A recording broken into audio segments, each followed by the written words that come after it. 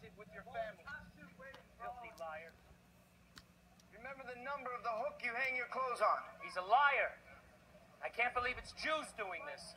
Let go of me. He's lying, everyone. He's a liar. You should listen to your wife. Think what you want to think, but don't cause trouble. I'm causing trouble? Please. Morris. Look me in the eye and tell me I'm not going to be killed. Hang your clothes on the numbered hooks and keep them separate from your neighbors. I'm going to die, but I'll have lived longer than you ever will. You're dead already. I'm telling you to be quiet. I think you're going to change something. That's right. What does it matter? At least I'll die with my dignity. Morris. Stop it! You hear me? At least I'll die with my dignity. How'd you get through it with that? What? The watch is what? They'd have killed your whole car. What does it matter? See what you've done for yourself now. Give me the watch. Why? Give it to me. You're bathing. Why do you need the watch in there?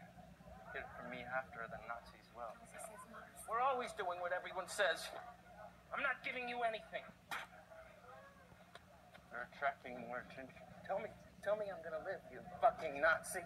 Tell me I'm gonna live. Morris, give him the watch. He's a liar, everyone. These Jews are all Nazi liars, and now he wants to steal my watch. Give me the watch. All I want is a fucking watch.